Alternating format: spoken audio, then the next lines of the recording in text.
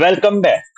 In today's video, I am going to show you this application form which is created by using the Google Sheet and Google Apps Script. Okay, so this application takes the informations for joining our team. For example, a people want to join our team, they need to submit a application. So that person who want to join our team will fill this form. Okay, so you can use this so you can use this form to get the applications from the users or submitters. Okay.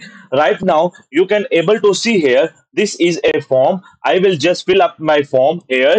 This this form has many features. I just select here enter my name. For example this is my name and this is my contact number and this is my email id okay. So you can see here emails looks great looks good and phone number is also good. Okay. Now i need to enter the date of the birth. I just select the date select the gender select the education level postgraduate and then select any indian state right now. How you can add your states i will also explain you so I just select here a particular state and select application position applied for application. I just select here customer care. You can also select anyone else and you can also add in the drop down as much as you can and then preferred contact method is whatsapp or email. So now when you click on this submit application the application is not going to be submitted. Why is not going to be submitted? What's the error comes. You have already applied with this email address.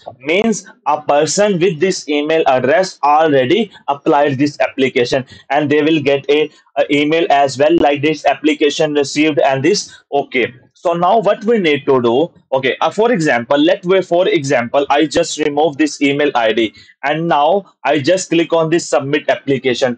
Now also it will not allow to the submit. Now it will say you already have applied with this phone number. Now what's the matter is this? I just come to the Google Sheet, just remove this and now I just go to my form and click on this submit application.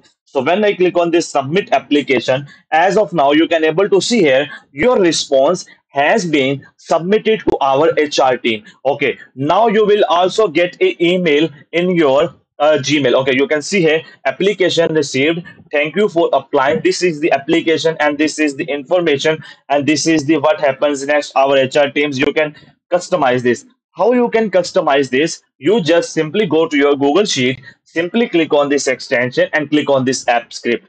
So when you click on this app script you will see the code. Okay this code is available in the description but i will show you how you can modify the code. Okay now the thing is that first thing you need to do very openly you just copy this sheet id what is your sheet id no matter what is it you just copy that particular sheet id replace with this particular sheet id okay that's good. Okay now you can understand. This is a function uh, do get which can uh, calls this index.html now function get inside indian states. So in this function i have added all the indian states so you can add your country states here. For example you can replace them the andhra pradesh to your own ones. And again you can see here. So this is the uh, system and this is the email. You can also modify the template of the email and also modify the text from here.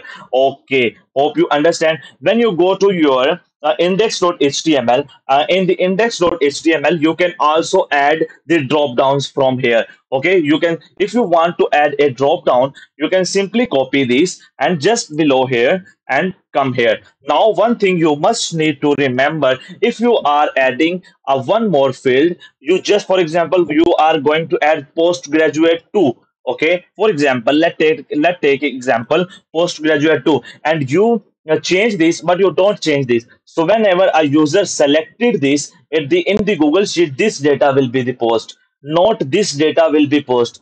This is a user display statement and this is a statement which we saved in our google sheet. Okay. So for clearance we use here postgraduate 2 we just need to add here this and now all okay. So same like that you can also add here the drop downs uh, uh, how much you want. So in this way you can easily modify your form add the drop downs and make it according to you very easily and effectively. One more thing after making the changes you must need to click on this new deployment and make a new web app. Make sure it's with uh, anyone and click on this deploy. So when you click on this deploy you will see uh, this particular link open this particular link so your web web app will be accessible your application form will be accessible Okay, hope you like this video. You like this concept. So this application code is available in the description. Hope you like this video. You like this concept. And also, whenever uh, one last question, one last thing,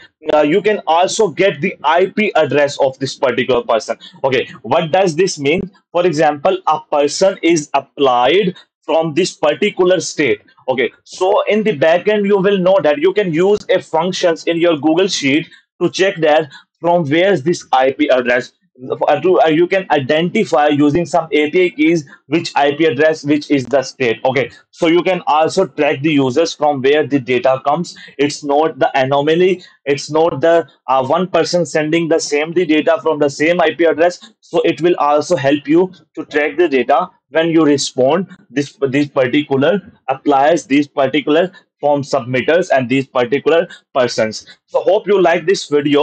You like my concept and you like my uh, the way of explaining you. So be comment in this video and watch this video completely and subscribe our channel and share with your friends. We always making a great contact for you. Okay take care. Thank you very much